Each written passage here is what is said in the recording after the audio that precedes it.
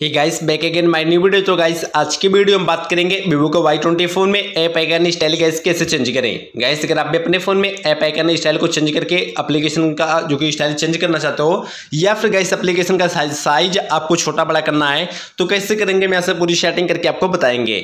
अगर आपके फ़ोन में ऐप आइकन का स्टाइल गैस गोल है या फिर चार कोने का है, उसका स्टाइलिश गैस आप यहाँ पे अपने फ़ोन में रखना चाहते हो चेंज करके, जो कि बहुत स्टाइलिश में तो कैसे रखेंगे मैं ऐसे आपको पूरी सेटिंग करके बताएँगे।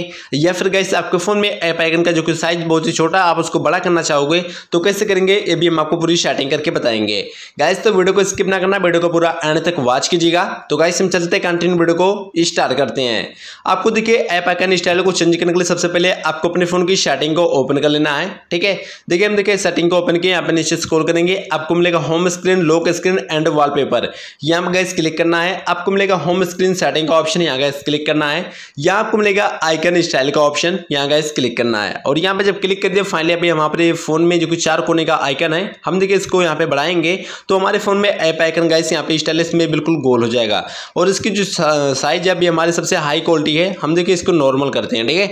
नॉर्मल नॉर्मल हमने गैस यहाँ पे कर दिया अभी यहाँ से देखिए हम बैक आते हैं। बैक आ चुके देखिए हमारे फ़ोन में एप्लीकेशन का स्टाइल गैस बिल्कुल बिल्कुल गोल हो चुका है। और जो इसकी साइज़ है साइज़ भी गैस कुछ हमने यहाँ पे फाइनली पहले से छोटी कर दी है, ठीक है? अगर आपके फ़ोन में इसी सेम सेटिंग नहीं है तो आपको सेटिंग को ओपन कर लेना है सर्च बार में जाना है। आपको यहाँ पे लिखना क्या है? ऐप आइकन ठीक है? आप यहाँ पे जब सर्च कर देंगे और आपके फ़ोन में यहाँ पे गैस सेटिंग बिल्कुल यहाँ पे खुल के ओपन हो जाएगा। जब सेटिंग ओपन हो जाएगा तो आप यहाँ से ऐप आइकन स्टाइल गैस बिल्कुल चेंज कर ही सकते हैं।